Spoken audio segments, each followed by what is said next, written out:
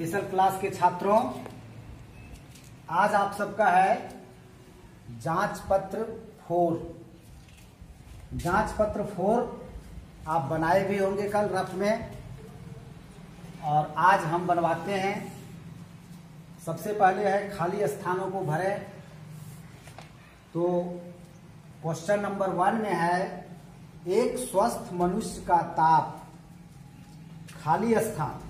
कितना degree Celsius या कितना डिग्री फारेनहाइट होता है? तो आप इसके पहले पढ़े हैं इसको, क्योंकि जाँच पत्र फोर में जितना भी क्वेश्चन है, वो आप इसके पहले पढ़ चुके हैं। सारा चैप्टर से है। जाँच पत्र थ्री के बाद जितना चैप्टर है, उन सभी चैप्टर से इसमें दिया हुआ है। तो सेल्सियस में होता है सैंतीस डिग्री सेल्सियस। इसलिए केवल सैंतीस भर देंगे, क्योंकि डिग्री सेल्सियस यहाँ पर लिखा हुआ है। और या तो अंठानवे दशमलव छह डिग्री फारेनहाइट। तो ये दोनों जगह में दो भर देंगे। पहला में दो जगह खाली स्थान है।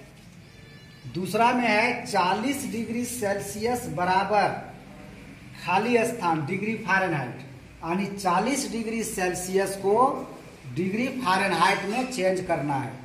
ये आप रफ में कर लीजिएगा चेंज 40 डिग्री सेल्सियस को डिग्री फारेनहाइट में कैसे चेंज किया जाता है? 40 गुने नौ बटा पाँच ब्रैकेट बंद प्लस बत्तीस।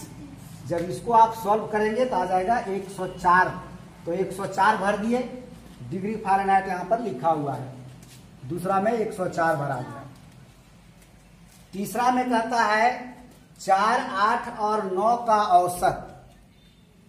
इन तीनों संख्याओं का औसत ज्ञात करना है तो औसत का आप फॉर्मूला जानते हैं। राशियों का योग बटा राशियों की संख्या, यानी चार, आठ और नौ को जोड़ देंगे, और तीन संख्या है, इसलिए बटा तीन कर देंगे, यानी तीन से भाग दे देंगे तो सात आएगा। इसको रफ में आप करते जाइएगा। सारा क्वेश्चन को रफ में करके देखिएगा कि सात कैसे आ रहा है। उसके बाद चौथा नंबर में है पचास और पचहत्तर का अनुपात। तो पचास और पचहत्तर का अनुपात ज्ञात करने के लिए पचास बटा पचहत्तर कीजिए, फिर उसको काटिएगा तो दो बटा तीन आएगा और इस तरह से दो अनुपात तीन भर आ जाएगा।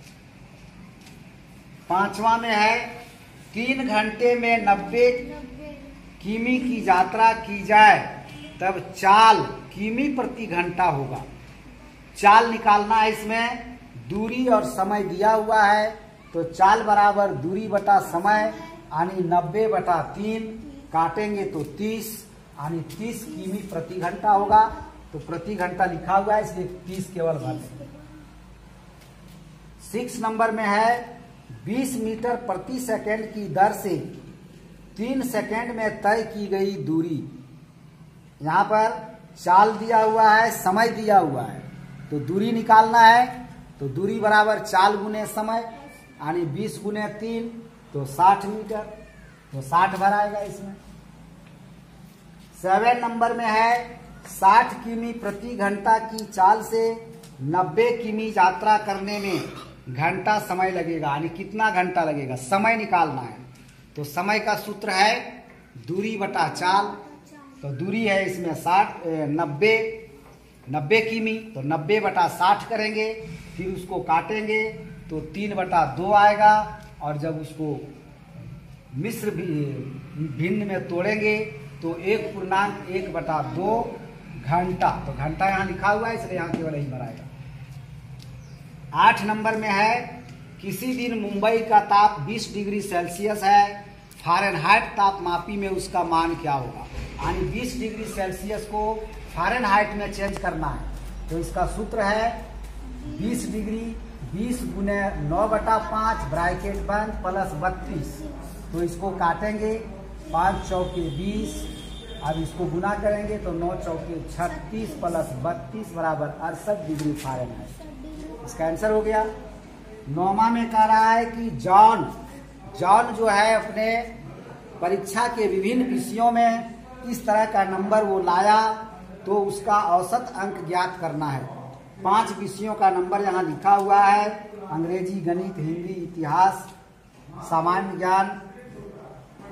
इस तरह से एक, दो, तीन, चार, पाँच। ठीक है? तो औसत अंक बराबर। आप जानते हैं, औसत का सूत्र आप जानते हैं, राशियों का योग बटा राशियों की संख्या। लेकिन जब कहीं पर औसत, जैसे अंक का औसत निकालना है, कहीं पर उम्र का औसत निकालना रहता है तो जब अंक का औसत निकालना है तो औसत अंक उम्र का निकालना रहेगा तो औसत उम्र वज़न का निकालना रहेगा भार का तो औसत भार। और उसके अनुसार आप यहाँ पर सूत्र को चेंज कर लेंगे। तो औसत अंक बराबर सभी विषयों के अंकों का योग बटा विषयों की संख्या। क्योंकि आप सभी जानते हैं कि औसत निकालने के लिए सभी का जि, जिसका जिसका औसत निकालना रहता है सभी का योग निकालते हैं और वो कितना है संख्या में, उस, उतना से उसका बटा लिखते हैं यानी भाग देते हैं। ठीक है? तो वही अपनी भाषा में इसको बनाना है। सभी क्वेश्चन के लिए अलग अलग थोड़ा सा वर्ड चेंज हो जाएगा सूत्र में।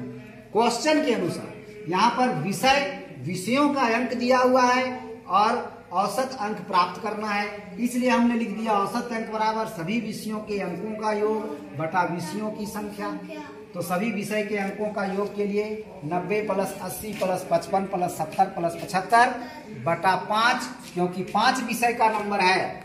इंग्लिश का, गणित का, हिंदी का, इतिहास का तथा सामान्य ज्ञान का। इसलिए पाँच से भाग दे दिए तो चौहत्तर बार में ये पाँच से कट रहा है डायरेक्ट।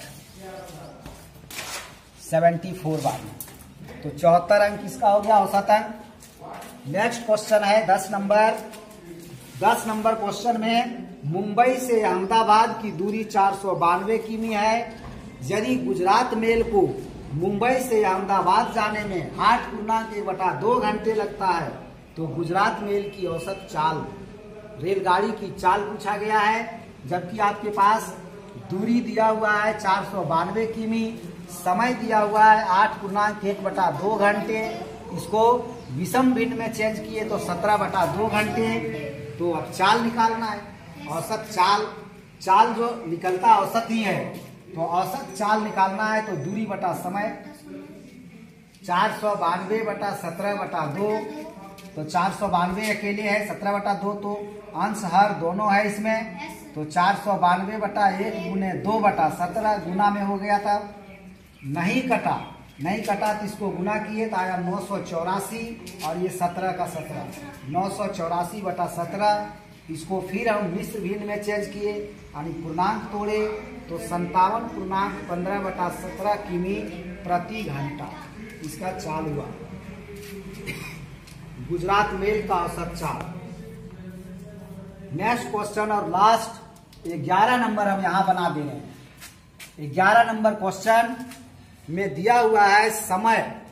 समय सात घंटा। Bangalore city Madras central mail को। बंगलोर सिटी से मद्रास जाने में सात घंटे का समय लगता है।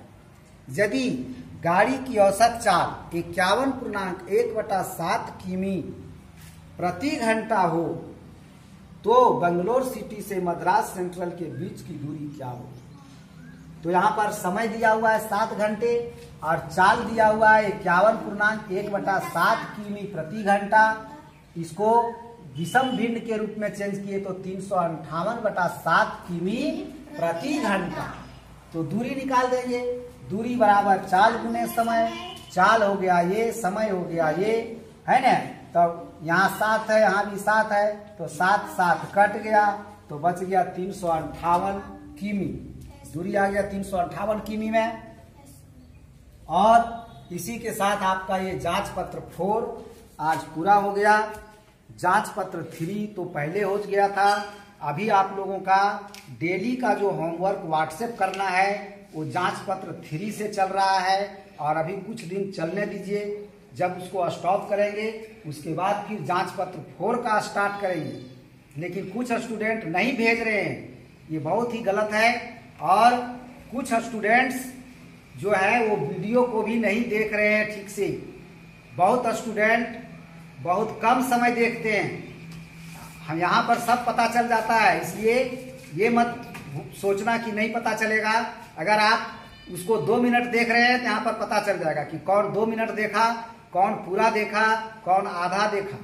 इसलिए अभिभावकों से भी आग्रह है कि कृपया आप बच्चों को जब मोबाइल देते हैं तो साथ में आप बैठें, तभी वो लोग देखेंगे।